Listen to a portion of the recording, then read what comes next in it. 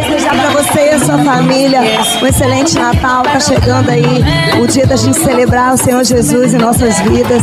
Então, trazendo, claro, essa energia de muito amor, de muita paz em nossos corações.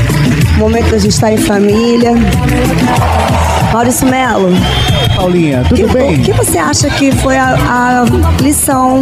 Isso eu pergunto para o pessoal de casa também. No coração de vocês, que Jesus mais trouxe para nós?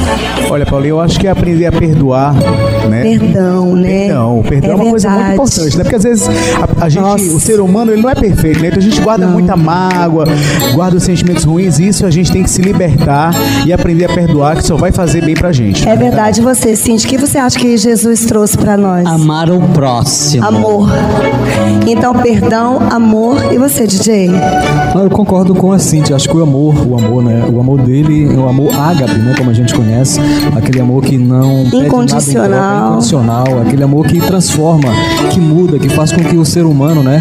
É, reflita e saiba que quando a gente dá amor, a gente recebe tudo em troca, né? E sem a gente precisar pedir, porque o amor, ele é, assim, uma coisa é que maravilhoso, transforma. né, gente?